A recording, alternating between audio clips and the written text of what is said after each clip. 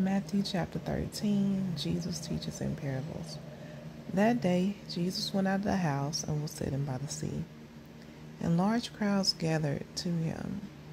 So he got into a boat and sat down, and the whole crowd was standing on the beach. And he spoke many things to them in parables, saying, Behold, the soil went out to sow. And as he sowed, some seeds fell beside the road, and the birds came and ate them up. Others fell on the rocky places, where they did not have much soil, and immediately they sprang up, because they had no depth of soil. But when the sun had risen and they were scorched, they were scorched, and because they had no root, they withered away. Others fell among the thorns, and the thorns came up and choked them out. The others fell on good soil and yielded a crop, some a hundredfold, some sixty, and some thirty. He who has ears, let him hear. And the disciples came and said to him, Why do you speak to them in parables? Jesus answered them, To you has been granted to know the mysteries of the kingdom of heaven, but to them it has not been granted. For whoever has, to him more shall be given, and he will have an abundance. But whoever does not have, even what he has shall be taken away from him. Therefore I speak to them in parables, because while seeing they do not see, and while hearing they do not hear, nor do they understand. In their case, the prophecy of Isaiah is being fulfilled, it says, You will keep on hearing, but will not understand. You will keep on seeing, but will not perceive. For the heart of this people has become dull, with their ears are scarcely hear, and they have eyes, and they have closed their eyes. Otherwise, they would see with their eyes, hear with their ears, and understand with their heart, and return, and I would heal them. But blessed are your eyes because they see, and your ears because they hear. For truly I say to you that many prophets and righteous men desire to see what you see and did not see it, and to hear what you hear and did not hear it. Hear then the parable of the sower. When anyone hears the word of the kingdom and does not understand it, the evil one comes and snatches away what has been sown in his heart. This is the one on whom the seed was sown beside the road, the one on whom seed was sown on the rocky places, this is the man who hears the word and immediately receives it with joy.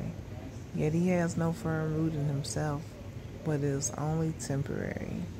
And when affliction or persecution arises because of the word, immediately he falls away.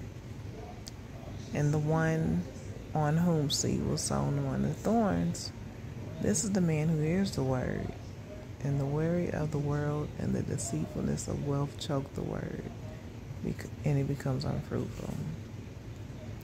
And the one on whom seed was sown on the good soil, this is a man who hears the word and understands it, who indeed bears fruit and brings forth some a hundredfold, some sixty, and some thirty.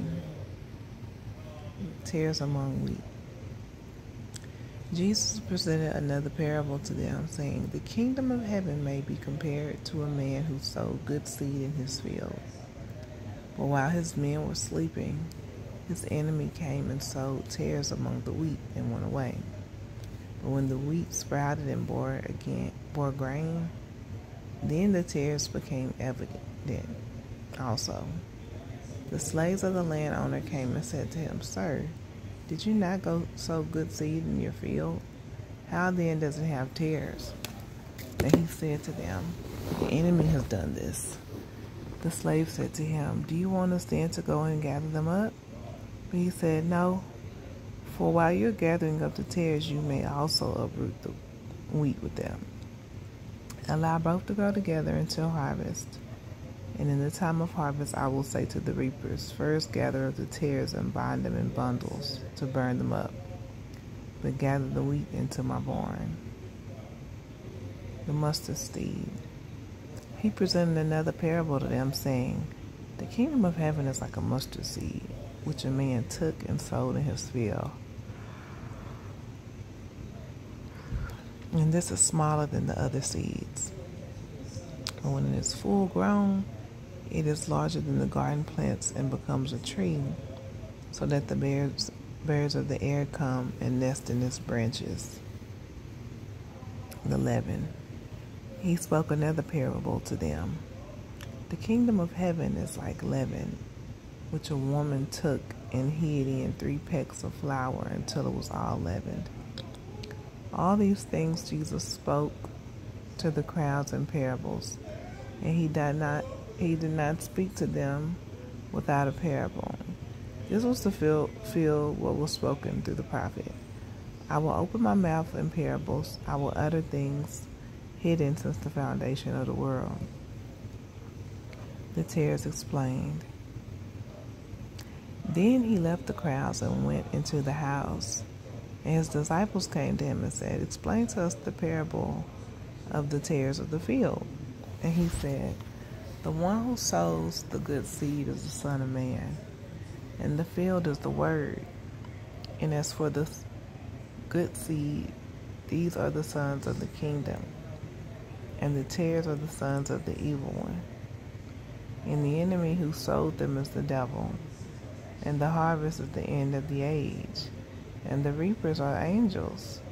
So just as the tares are gathered up and burned with fire, so shall it be at the end of the age. The Son of Man will send forth his angels, and they will gather out of his kingdom all stumbling blocks and those who commit lawlessness, and will throw them into the furnace of fire. In that place there will be weeping and gnashing of teeth.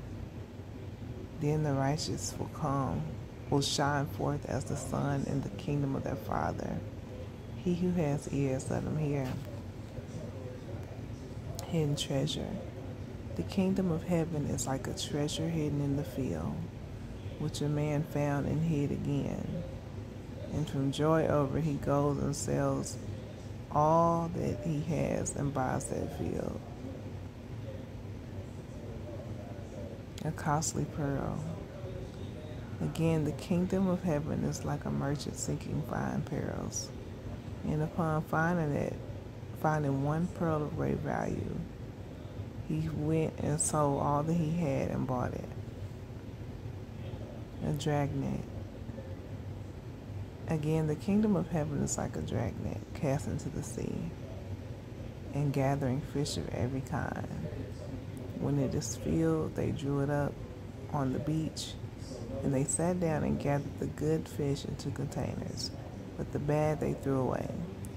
So it will be at the end of the age. The angels will come forth and take out the wicked from among the righteous, and will throw them into the furnace of fire. In that place there will be weeping and gnashing of teeth. Have you understood all these things? They said to him, Yes.